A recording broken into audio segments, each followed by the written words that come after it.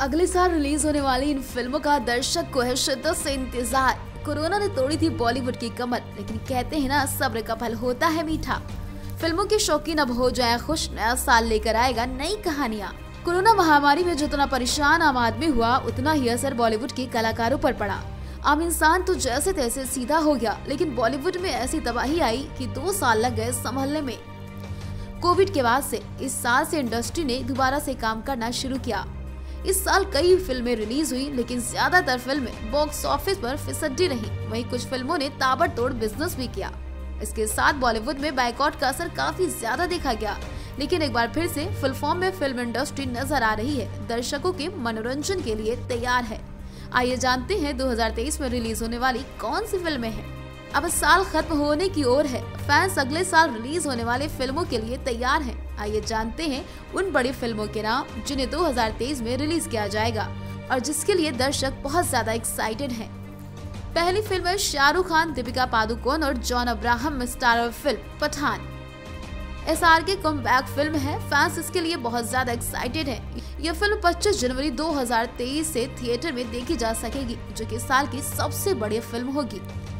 ऋतिक रोशन दीपिका पादुकोण की film fighter को Siddharth Anand direct कर रहे हैं। ये फ़िल्म अभी भी बन रही है। फ़िलहाल इसके रिलीज़ डेट के लिए कोई कंफर्मेशन नहीं है। कई साल बाद करण जौहर अपनी कुर्सी संभाल रहे हैं उनकी फ़िल्म रॉकी और रानी की प्रेम कहानी।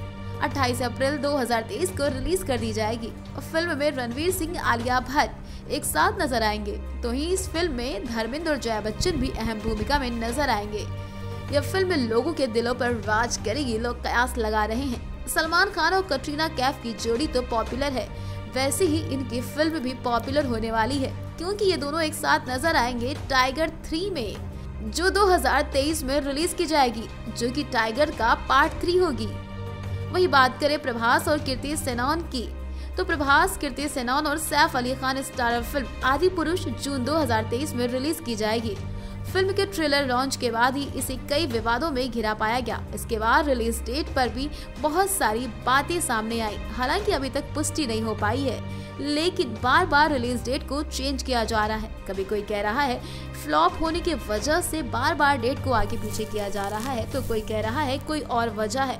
खैर, ये तो देखने वाली बात होगी फ़िल्म आने के बाद। दर्शक इसको कितना प्यार दे पाते हैं। अभी तो दर्शकों को इंतज़ार है 2023 में रिलीज़ होने वाली बड़ी फ़िल्मों का, क्योंकि इस साल बहुत सारे फ़िल्में बॉक्स ऑफ़िस पर कुछ कमाल नहीं कर पाई, जिसकी वजह से दर्शक थोड़े निराश हैं।